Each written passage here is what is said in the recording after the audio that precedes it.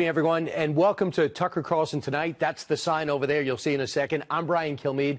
I'll be filling in for Tucker. Meanwhile, it's been more than a year since Hillary Clinton's 2016 defeat, but the excuses just keep on coming. Clinton appeared on Hugh Hewitt's radio show, today to talk about her book, What Happened. I know. She's on a book tour. I had no idea. And she had a whole array of explanations for her loss. But this time, she put the blame on a new person, President Obama. When you run to succeed a two term president of your own party, you have a historical headwind uh, blowing against you. It is a challenge. If you are both the candidate defending a lot of the uh, areas of agreement, but also putting forth uh, an agenda for change, which is what I tried to do, it is often difficult to get the second part of that message through.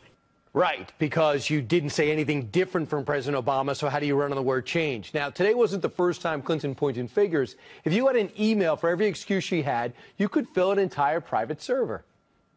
The use of uh, my email account was uh, turned into, you know, the biggest scandal since Lord knows when. They covered it like it was Pearl Harbor. If you look at Facebook, uh, the vast majority of the news news items posted were fake. There's all these stories about you know guys over in Macedonia who are running these fake news sites. I inherit nothing from the Democratic Party. Comey was more than happy to talk about my emails, but he wouldn't talk about investigation of the Russians. I also think I was the victim of a very broad assumption I was going to win. I did not know she was a judge on The Voice. I don't know if that chair turns. Meanwhile, Clinton used today's appearance to discuss more than just her defeat. She also said America has a large number of white supremacists who have made common cause with the president. I think there has proven to be um, more white supremacists and white nationalists uh, than I wish there were uh, in our country, as we saw tragically in Charlottesville and other places and they have made common cause uh, with uh, the president's agenda um, out of their own mouth that he is someone that they uh, are counting on to promote it. Well, Clinton also expressed doubts about whether she can ever possibly be friendly towards President Trump like she was in the past. I said we all need to give him a chance, and we all need to uh, support our president. We have one president at a time, and uh, I've been uh, very disappointed in uh, the way that he has conducted himself. After this is all done, do you see becoming friendly with him again? I don't know the answer to that question, Hugh. I do. I'm going to go with no. Uh, Dan Bongino is a former Secret Service agent and an NYPD officer, and may I add, editorialized, a very nice man. Robin Biro is a former Obama campaign regional director, and they both join us now. Robin, the problem was uh, President Obama. President Obama uh, replacing a third term popular president who got over 50% when he left. That is very hard when you run as an agent of change. Do you buy that?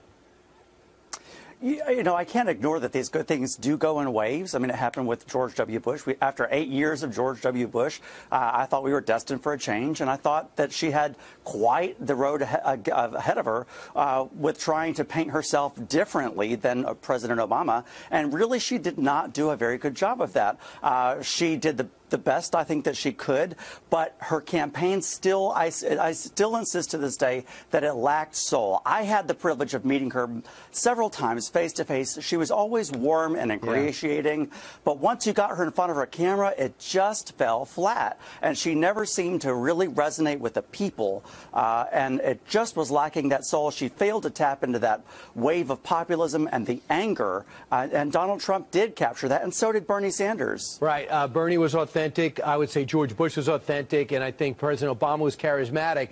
Even one on one interviews, Dan, she didn't seem to resonate. But the problem fundamentally, I think, you tell me if I'm wrong, is if you're going to run as agent of change, you have to say something different from the person that you're changing from. She ran oh, that the same thing that President Obama ran on. She never said he was wrong here, he was wrong there, he was wrong there, and I'll be different here, right? Well, yes, Brian. That's because she sat in front of focus groups and changed their position by the day. You know, she'd lick her finger and see where the wind was blowing. You know, Robin said he had the privilege of meeting her. Well, I had the privilege of working with and for her as a Secret Service agent. My takeaway was the exact opposite. I found Mrs. Clinton to be the most deceptive human being, manipulative political person in a position of power I'd ever met in my entire life. It wasn't so much that she was a liar, it was that she did it and she deceived and manipulated with such ease. This, you know, I, I spoke out against her, and believe me, I, I, it, this was not something I took lightly. I never attacked President Obama personally, and never would. He was, I disagreed with his politics, but he was very genuine and nice to me personally. Mrs. Clinton is a fraud. If the people out there knew the Mrs. Clinton I knew, they would have a far different take. And the fact that she's trying to upend an American election where President Trump was elected, you may not have liked it, but that she's trying to upend it with this nonsense on this what happened tour is a disgrace. It's a disgrace to herself and the American people that picked someone other than her. Robin, I'll add to this. I'll go. I read Donna Brazile's book. I found it fascinating, cover to cover. She says that no doubt about it, uh, they took the African American vote for granted.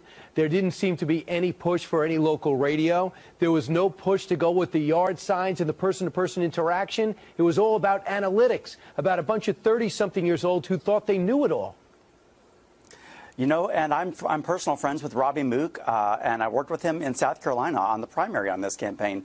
Uh, and the first, the entire first section of the book, What Happened, uh, does dedicate to uh, the mistakes of the campaign, her own personal mistakes that she does own up to. Uh, where you're exactly right, she they ta- they they got too much into the weeds, into the analytics. Uh, they surpassed the flyover states, the the Middle America votes. We took those for granted. There were a lot of mistakes mistakes. Granted, it's a, the book is a complete assessment of everything that factored into this, which there was a lot that factored into it. Uh, but, you know, I think that she does take credit for her mistakes.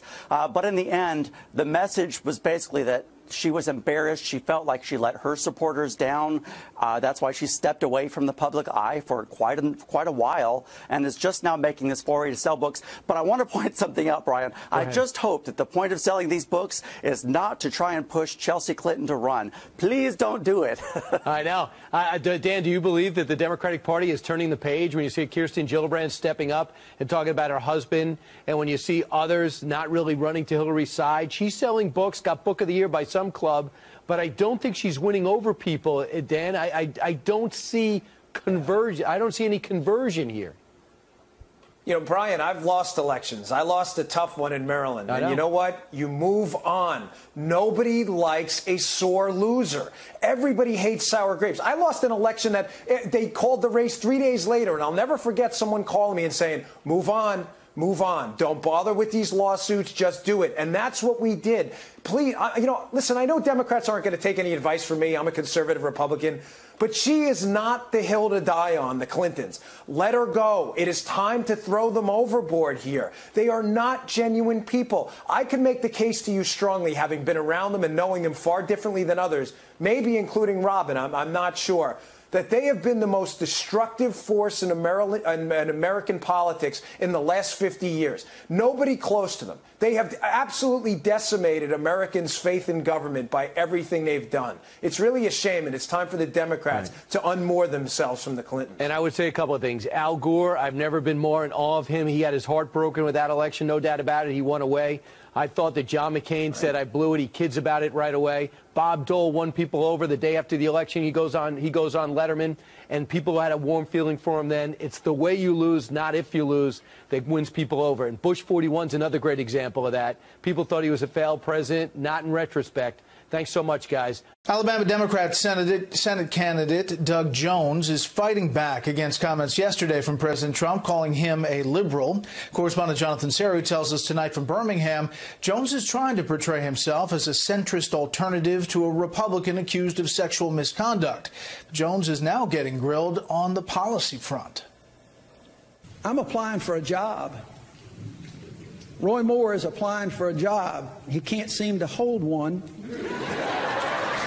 Democrat Doug Jones mocked his Republican opponent, who was twice removed from the Alabama Supreme Court for refusing to follow federal court rulings on same sex marriage and public display of the Ten Commandments. Speaking at a town hall forum in Huntsville, Jones praised Ronald Reagan's ability to reach across the aisle and criticized doctrinaire Republicans of today. They're the same ones, by, by the way, that are simply saying, oh, pay no attention to the allegations against Roy Moore. He's a Republican. By God, we'll vote for him anyway. That is wrong, people. That is wrong. Moore was invited but did not attend the town hall.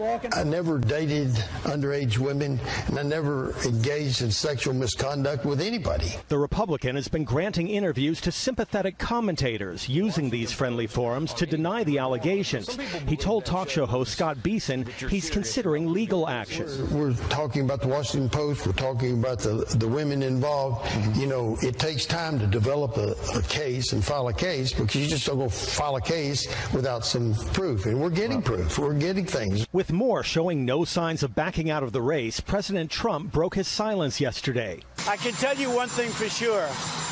We don't need a liberal person in there, a Democrat. Jones. This was Jones's response. I feel like my record speaks for itself, and I don't have to have the president or anyone else to talk about it or try to label it. Today on social media, the Jones campaign debuted a new ad featuring early photos of Moore's accusers. Now they are women, witnesses to us all of his disturbing conduct. Will we make their abuser a U.S. Senator? And this evening, the Moore campaign confirm, confirms that its communications director, John Rogers, has stepped down. Earlier in the day, an advisor from the campaign told Fox News uh, that Rogers simply didn't have the experience to deal with all the press over the past couple weeks. But then later today, the campaign issued a news release quoting its chairman, Bill Armistead, saying, quote, John made the decision to leave the campaign last Friday. Any representations to the contrary are false. Brett? Jonathan Serrie live in Birmingham. Jonathan, thank you.